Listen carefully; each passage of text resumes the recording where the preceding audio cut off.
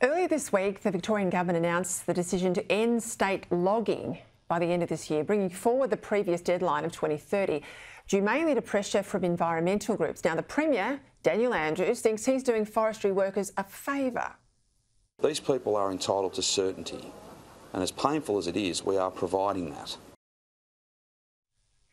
Well, that's what he thinks, but this is the reality for forestry workers. Oh, I feel for all the, the guys that are 25 and 30 years old that their job is sawmilling and, you know, like they're part of the furniture here and they're the guys that are going to suffer. Yeah, it's a reality for workers, and that's, of course, before we count the cost of, of losing Australia's ability to make products here from forestry, timbers, and even paper. Our last paper mill in this country has now closed. Joining me now, Chris McEvoy, Managing Director of Radial Timber.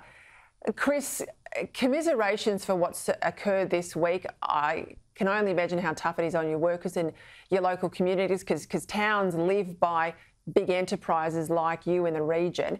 How tough's this news been this week? It, it, has been, yeah, it's been a very, very tough week. It's it's heartbreaking to see actually because it's uh, it's uh, something that uh, no one saw coming, and it's been very, very stressful. I listened to Michael O'Connor. He's the head of the forestry division inside the CFMEU. His brother is Brendan O'Connor, a frontbencher in the Albanese government. He was scathing on Tuesday. He said this has happened without any union consultation. Uh, were businesses like you consulted? No, actually, I can guarantee no one was consulted. You know, right from the suppliers to the uh, the producers, um, everyone I've spoken to had no idea this was happening. So it's come completely out of the blue. We we thought it was 2030, and six years early, it's come. What, what I don't understand, I mean, timber is renewable. I mean, you cut down a tree, you've got more you can plant. You can obviously it sequesters carbon. Why go after your industry?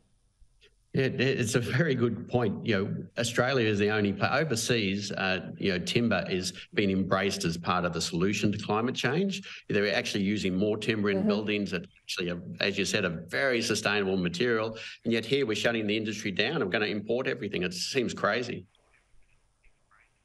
And of course, you've got some of the most stringent requirements on your sector of, any uh, grower or, or, farming sort of enterprise, agricultural enterprise. And of course, when we import the timber from places like Indonesia, they've got nothing like the standards we do here. I, get it goes this whole point about the global response. We shoot ourselves in the foot in Australia, but do nothing good for the environment globally.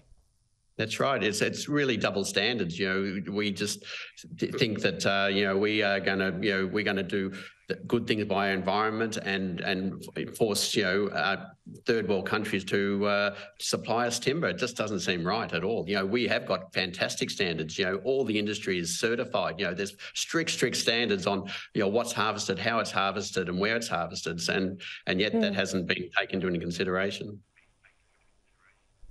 And what happens to the regional communities that, uh, you know, the, the, the, pie shop and uh, the motel and all these other people that live off your industry? Yeah, yeah, yeah. No, I, I, I, agree. It's it's it's really like the, the Yarram mill at uh, you know the radial mill at Yarram is part of the community. It was actually developed, born, grew and has evolved over the last 20 years, employing all locals. And um, you know, it's it's uh, you know really it's, it's another decision from Melbourne that affects rural communities without well any fear of the consequences. And to say that it's giving us, uh, you know, giving us confidence and giving us, a, you know, firm direction, you know, that is an insult to mm. rural communities. Chris, I grew up in a little country town in the Mallee, so I, I'm, like I'm thinking of you all tonight, and I'm sure plenty of my viewers are too. Thanks for putting a very human face on what's been announced out of Spring Street this week. Thank you for your yep. time. Thank you. Thank you.